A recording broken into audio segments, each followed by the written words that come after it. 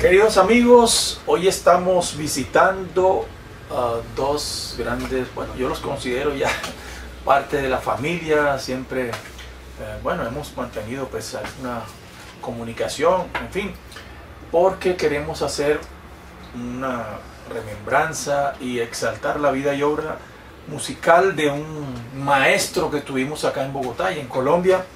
Estamos hablando del maestro José Cheito Guerra. ¿Cómo era el apellido de, de su señor padre? José del Carmen Guerra Zúñiga. Ok, así es, José del Carmen Guerra Zúñiga. Aquí en Bogotá y en Colombia todo el mundo le decíamos cariñosamente maestro Cheito Guerra, saxofonista, clarinetista, él fue arreglista, compositor y director de orquesta. Bueno, no sé si se me escapa algo más. Bueno, él era natural de Arjona Bolívar. Muy bien. Entonces me encuentro aquí con dos de sus hijos, eh, la maestra Natalia y el maestro Dalmiro Guerra. Muchísimas gracias por haberme abierto acá sus puertas para compartir todas esas...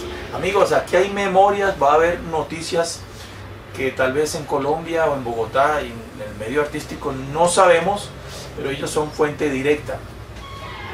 Entonces eh, les he propuesto que sostengamos un diálogo ameno para resaltar la vida y obra musical de este gran maestro, porque él también contribuyó a la música tropical en Colombia, no solamente en Bogotá, en Barranquilla, en Cartagena y en otros, en otros lugares. Bueno, entonces comencemos.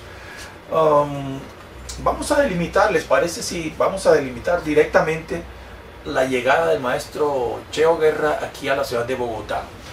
Uh, bueno, voy, qué pena, voy a empezar por Dalmiro porque es mayor y él conoce esa historia. Claro. Maestro Dalmiro, cuéntele al país, por favor, uh, en, ¿usted qué recuerda en qué año llegó su papá aquí a Bogotá? ¿Quién lo trajo y dónde tocó? Por lo que yo recuerdo, Sí, mi papá llegó acá en el año 51. ok. 1951 llegó el maestro Cheito Guerra aquí a Bogotá. Eh, lo trajo de Peñalosa. Ok, Antonio, el maestro Antonio, Antonio María María Peñalosa Peñalosa Cervantes lo trajo aquí a Bogotá seguramente a trabajar. ¿Dónde? Para- ellos vinieron para inaugurar el Club Colombia que se inauguraba ese Oh. año acá en Bogotá. Muy bien. Amigos, el club, eh, bueno, eso era el Grill Colombia. Grill Colombia, Sí. Grill Colombia. Esto está ubicado en la, sobre la carrera décima entre calles 24 y 26, digamos, esos edificios que están ahí, mejor dicho, donde al frente, donde está el edificio ese curvo, que, que había unos edificios ahí de la Shell. Bueno, ya creo que ya hemos compartido en los episodios anteriores, eh, hablamos del Grill Colombia, un sitio muy exclusivo, elegante, pero no sabíamos, eh, porque parece ser en las revistas que yo he leído, seguramente hay una desinformación, porque todo el mundo habla que al maestro Peñalosa lo trajo un empresario que fue el Juan Danielson para inaugurar el club La Casbah.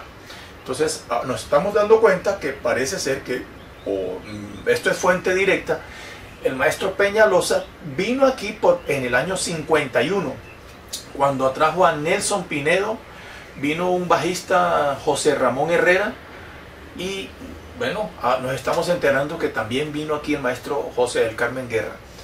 Ah, ¿Qué otra cosa usted recuerda algo? ¿Su papá le comentó algo de esa, de esa avenida aquí? ¿Cómo fue eso? No, La verdad no, no no mucho. Yo sé que llegaron para, yo creo que con él llegaron tal vez otros dos o tres músicos, pero yo no, no- o sea, no me atrevo a decir Claro. porque, porque Claro, claro. en esa época eh, empezó, empezó una migración hacia acá, Sí, hacia Bogotá, sí, sí, sí. bastante grande. De hecho, nosotros cuando llegamos acá a Bogotá, dos años después de llegar, eh, nos, nos, eh, mi papá con- eh, consiguió una casa en el centro, porque Ah, cuando nosotros llegamos acá a Bogotá, primero fuimos a vivir en el barrio Las Cruces. Y después de vivía allá- Claudia de Colombia. Ajá.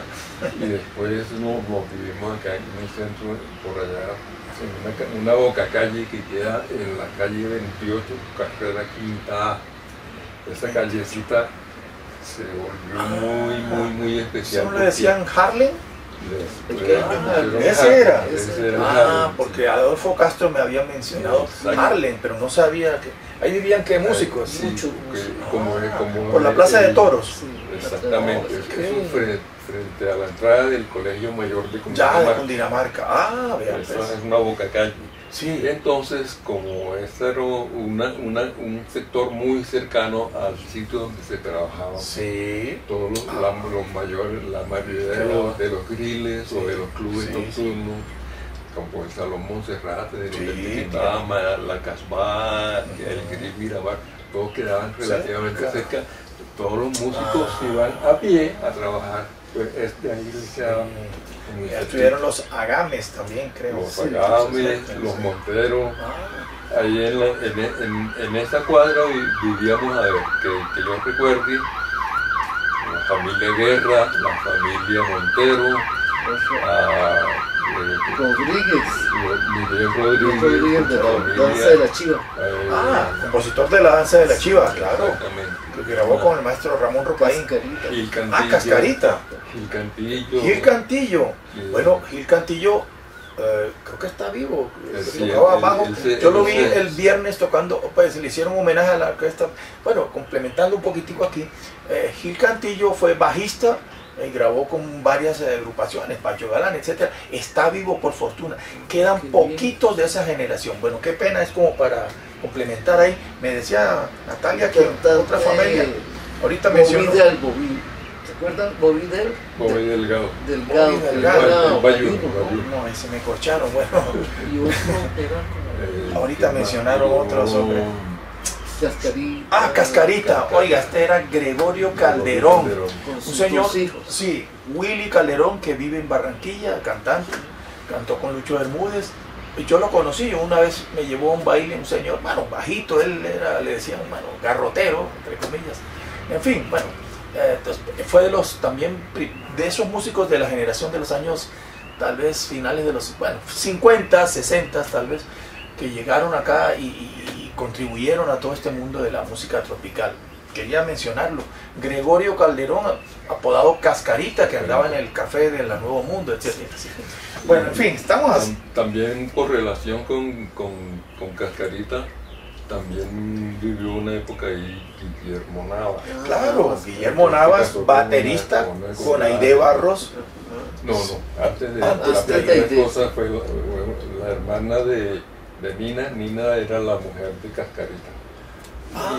Y, la hermana de ella, no recuerdo de la hermana de ella, sí fue la primera esposa de Oh, qué buen dato, no sabíamos. Sí, falleció el maestro, tocaba con nosotros. Hace poquito. Sí, Guillermo Navas, baterista, uf, trabajó mucho con, con el, panameño Marcos Gilques, bueno, en fin.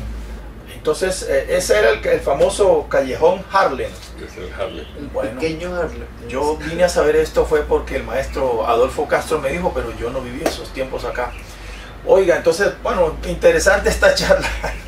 Amigos, entonces continuemos. Eh, entonces queda claro que mm, algunos textos dicen que en 1951 el maestro Antonio María Peñalosa vino a inaugurar el club, el Grill La Casbah, pero no fue así. Entonces, estamos escuchando que fue... Ah. Es posible que Peñalosa haya estado acá antes de y que aquí alguien lo contactó para ah, cambiar el club y se fuera para, para el Colombia. Ok, bueno que le trajeran otros músicos de, la costa. Porque él trajo, puso condición que trajeran a Nelson Pinedo, el cantante, el cloner que grabó con la Sonora Matancera.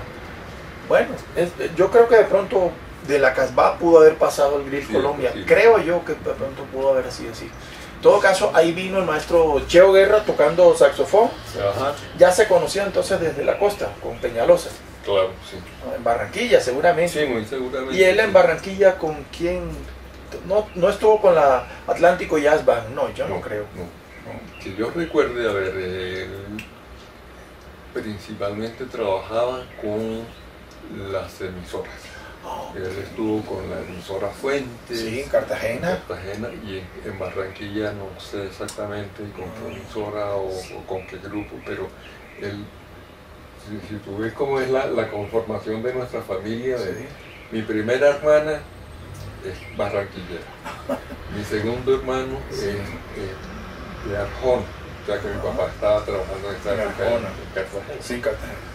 Eh, y mi tercera hermana, mi, o sea, la tercer- el tercero de la familia es una hermana Sí. eh, de Cartagena. Sí, Yo soy el cuarto, soy de Barranquilla. sí. Y el quinto es mi hermano que murió Jairo, es de. Cartagena. Ah, Y Natalia, de Bogotá. ah, ok. Entonces, Entonces, Claro. según, según el, el hijo, Claro. según la, la, la, la natalidad del hijo, Sí, él ya. estuvo en esa época trabajando en, una de esas ciudades. bien, bien. El 51, Muy bien. 56. Sí, claro. Muy bien, entonces hablemos un poquito si tiene memoria. Qué pena, maestra Natalia, por lo que de pronto él tiene más, eh, claro. Entonces, eh, ustedes recuerdan los años 50, bueno, cuando él vino aquí, ¿con qué orquesta tocó él aquí después de la, del, del Grill Colombia? ¿Con quién? Bueno, aquí hay unas fotografías que nos pueden ilustrar. Miren, amigos, él, que yo sepa, estuvo con un gran maestro acá, que fue Francisco Cristancho Camargo. Yo les he pedido el favor a ellos, si lo consideran con mayor respeto, que, que, que compartan, una- ah, bueno, miren acá, o algunas fotografías, porque esto hace parte del patrimonio, obviamente, yo les doy el crédito, en fin. Miren, Francisco Cristancho era boyacense, ah, pues de la generación de, de los años 40, cuando hubo en Bogotá el famoso Hotel Granada, donde hoy es el Banco de la República, ya eso lo hemos mencionado en capítulos anteriores. Entonces tengo entendido que el maestro Cheo Guerra ah, conformó o trabajó con estos músicos, ah, tanto Alex Tobar como Francisco Cristancho Camargo. Entonces, ¿ustedes recuerdan algo? Miren, esta belleza, amigos. Perdón, Nata. Miren esto, miren. Este, este, esto tuvo que ser años 50. Más o menos. Sí, claro. La voz de Colombia. Miren acá. Siempre ha habido una confusión, qué pena que de pronto... Una confusión de dónde se grabó Te Olvidé. No, eso Peñalosa lo grabó fue en la emisora Nuevo Mundo de Caracol, donde quedaba en la calle 12, no en la 19. ¿sí? Entonces, mire, esta es la voz de Colombia. Era como especie de radioteatros o, o ahí también grababan, pero el Te Olvidé se grabó fue en, en la Nuevo Mundo. Entonces, miren, eh, miren, miren esta agrupación. Creo que este es el maestro Francisco Cristancho. Y aquí sale el maestro Cheo Guerra tocando saxofón tenor o, al tenor, tenor, tenor, tenor. Bueno, no distinguimos, ustedes distinguen quiénes son. Bueno, no, es que esto de los 50. Ah, no, no, esta es otra. Sí, este es el maestro Francisco Cristancho Camargo. Mírenlo acá, mírenlo acá. Padre de los maestros que fallecieron el año pasado, eh, eh, Cristancho Hernández, que vivieron, que tuvieron una academia acá. Él era boyacense y, bueno, un gran músico y director de orquesta, etc. En todo caso, pues acá queremos mencionar que el maestro Cheo Guerra, mírenlo acá, conformó esas orquestas por los años 50 aquí en Bogotá. Y esos grupos tocaban la música también andina colombiana. Aquí vemos una tumbadora, se supone que pues ya algo de música tropical había por ahí algunos asomos. Sí. No sé, yo estoy especulando, pero porque de esto no creo que haya grabación, no sé. Pero miren cómo estaba confirmado los- las agrupaciones. Bueno, yo confío que, que presten esto y lo, lo escaneamos y lo socializamos. Entonces, de los años 50, no podemos así como resaltar alguna memoria. Yo, Muy viejo no, eso, no, ¿no? Sí, no, sí, no, tengo así Sí, memoria es. porque Sí, claro. eran nuestros Sí, sí, muy- temprana infancia. Así es.